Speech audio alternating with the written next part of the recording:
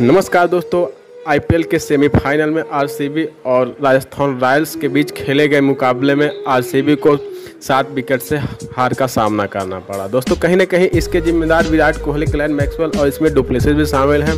विराट कोहली शुरुआती में ताबड़तोड़ पारी खेलने के चक्कर में ये आउट हो गए। उसके बाद ग्लैन मैक्सवेल भी कुछ खास स्कोर नहीं कर पाए। दोस्तों, हार के बाद ये काफ़ी निराश नज़र आए और ड्रेसिंग रूम में इनके आँखों में आँसू भी देखा गया। दोस्तों, काफ़ी कड़ी मेहनत के बाद सेमीफाइनल पहुँचने के बाद फ्लॉप होने के कारण इनको इनको खिताब पर हक जमाने का सपना भी टूट गया। दोस्तों, फिर भी इन्हें हार नहीं माननी चाहिए और इन्हें आगे कड़ी परिश्रम करनी चाहिए, हो सकता है अगले साल ये ट्रॉफी पर अपना हक जमा पाए। दोस्तों, ये जानकारी कैसी लगी? कमेंट में अपनी राय ज़रूर दें।